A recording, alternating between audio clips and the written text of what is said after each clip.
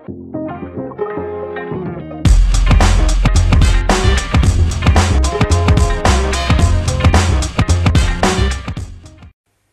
soal kali ini kita akan mengerjakan soal pada bab 8 yaitu tentang materi bangun ruang sisi datar. Baiklah kawan-kawan semua, pada soal diketahui bahwa alas sebuah prisma berbentuk segitiga sama sisi.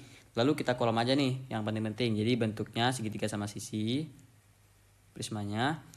Tinggi prisma 10 cm. Kita kolom juga dan volumenya 160 akar 3 cm.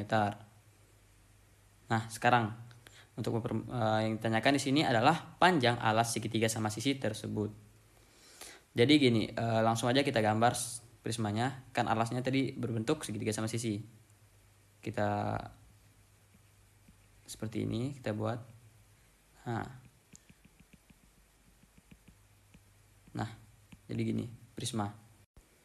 Ya, selanjutnya kita masukin aja nih angkanya. Nih ada tingginya 10 cm, artinya ini 10 cm tingginya. Sekarang apa lagi? Nah, volumenya, volumenya ini ada 160 akar 3. Nah, jadi pertama-tama itu kita akan menentukan luas alas dari prisma tersebut. Nah, luas rumus volume apa? Rumus volume. Volume itu sama dengan luas alas dikali tinggi. Nah, sedangkan kita sudah mengetahui volume dan tingginya. Volumenya tadi berapa? 160 akar 3. 10 akar 3. Luas alasnya yang kita cari tingginya 10 cm.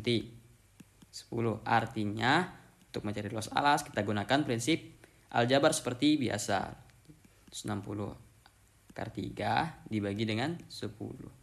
Jadi hasilnya sama dengan 16 akar 3 cm persegi karena satuan dari luas. Nah, selanjutnya kan kita udah mendapatkan luas alasnya.